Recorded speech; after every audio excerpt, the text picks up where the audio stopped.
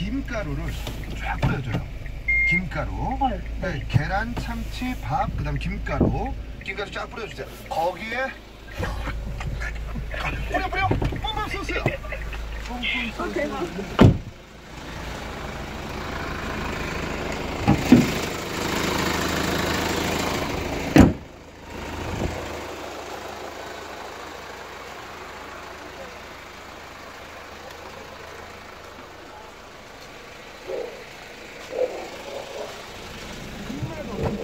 무조건 집에서 참치 딱 반 넣고 계란 전 두 개 정도 딱 넣고